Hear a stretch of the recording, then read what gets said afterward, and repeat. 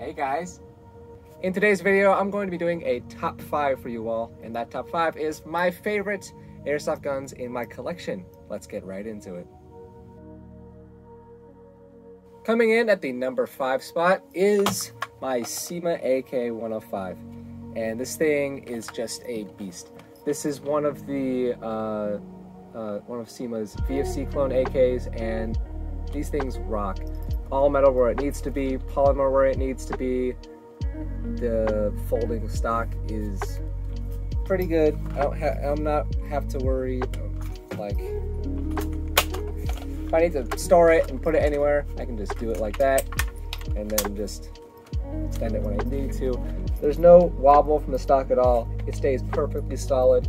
There isn't a whole lot of rattle much at all, aside from the uh, magazine, which does tend to wobble a bit, rattle a bit, as well as the um, mock cleaning rod, which I have omitted from here because it just kept falling out and was just being kind of annoying. Um, but the reason why this is at the number five spot is because out of the box it is shooting a little bit hot. I believe last time I chronoed it, it was getting like maybe 400 on point twos, something around there. And that means it shoots a bit too hot for a lot of um, indoor use. I know my local field, it shoots too hot for that field. And which is a shame because I really want to use this and play with it, but there aren't any, uh, there aren't a whole lot of fields around me, and my local one, it's, it's not that close, but either way, it's this is still a really solid gun at a pretty affordable price. Um, I believe last time I uh, checked the price on this, it was like to around 220, 240 ish.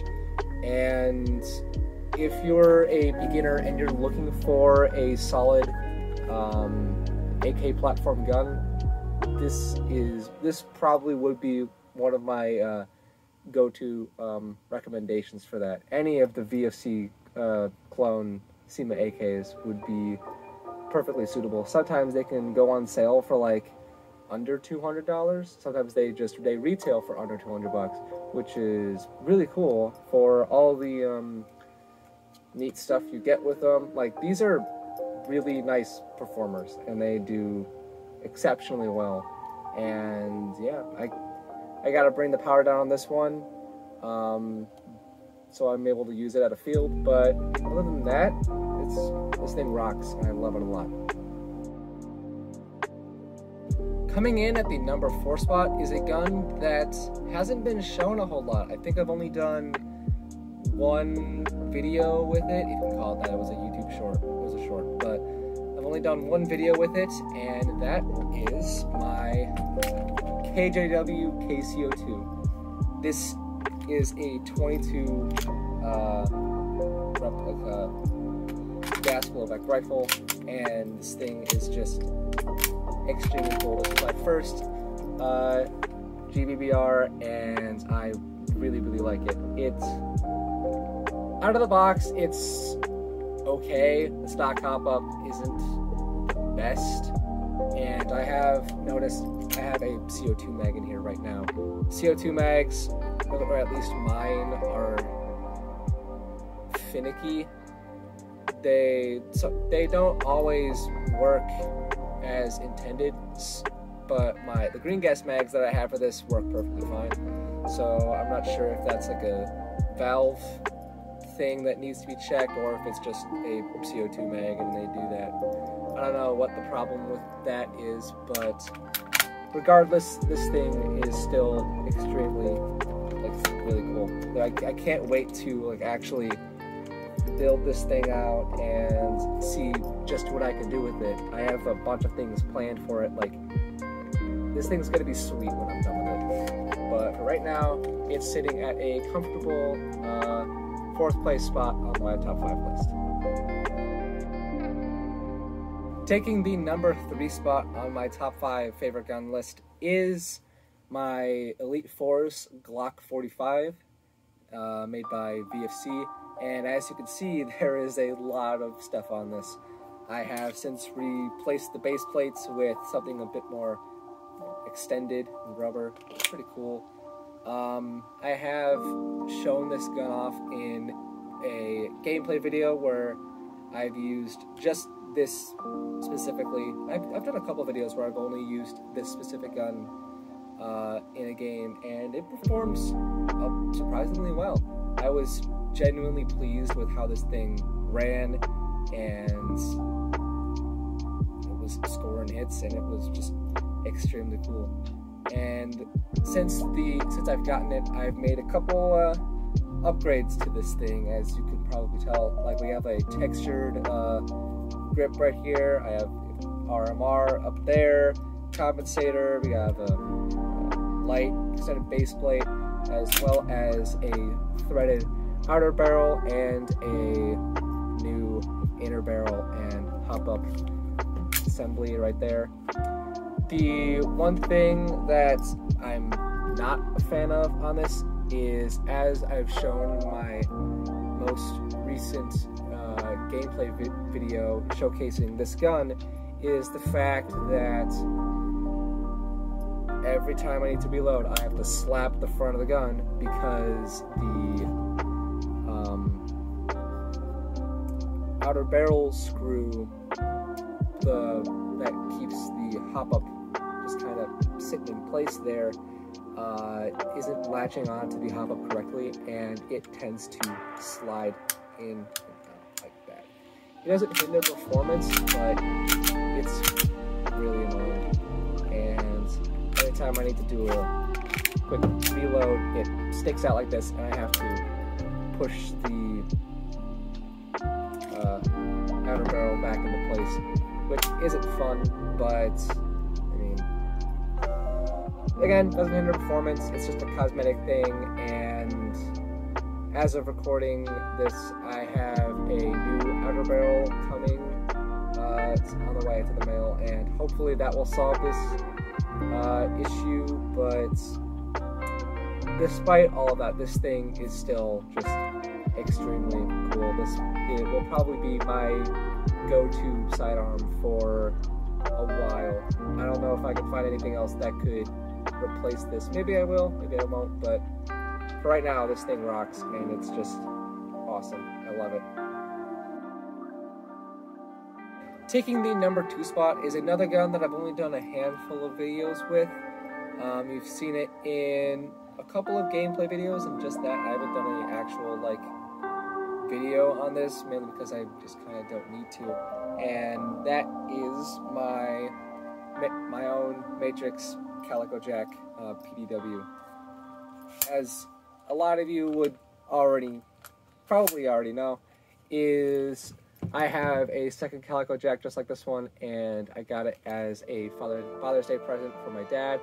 Um, check out the video of it somewhere up here, which which corner it's in, but it has all the same features as that. As that, it's just a bit shorter, shorter barrel, and just all that. It's still pretty much the same gun, same internals, just a shorter barrel.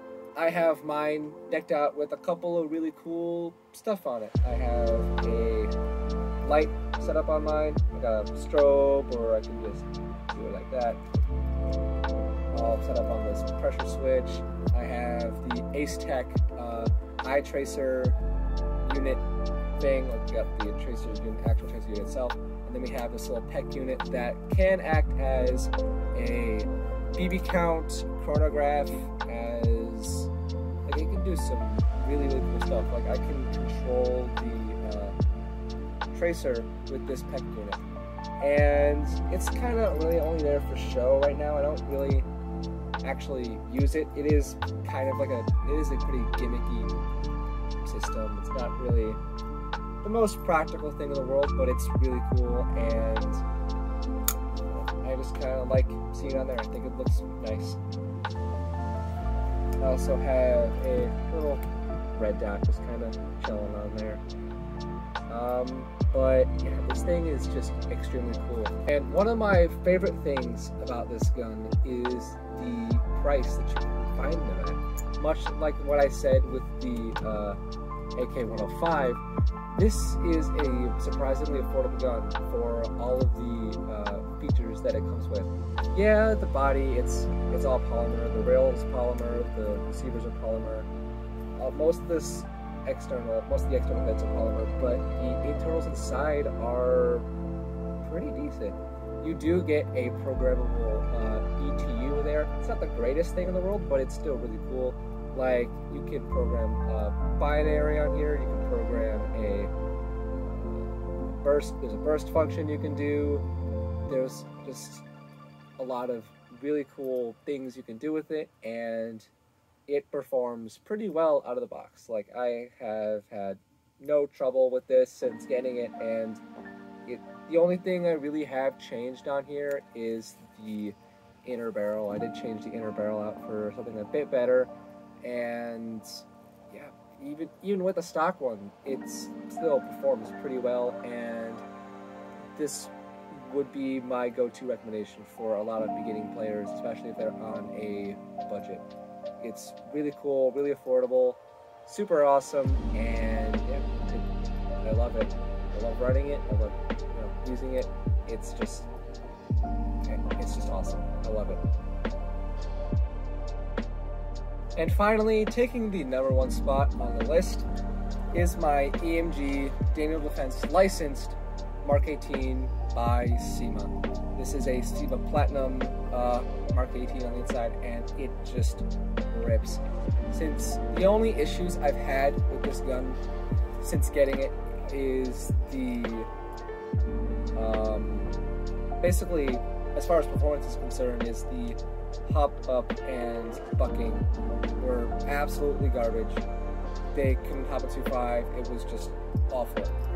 I have since replaced them with a new hop up, new bucking, and now it just runs, runs extremely well. I love this thing. Anytime I go out to play, I always bring this. I, it's just one of the guns that I know I can count on. Like, you guys have no idea. But this, I love it. It's all metal. I have it decked out with a lot of like really cool stuff. I have a A-Spec Predator Mark II just chilling on here. It's awesome. It's quick attach uh, Mox uh, chaser unit and back like that.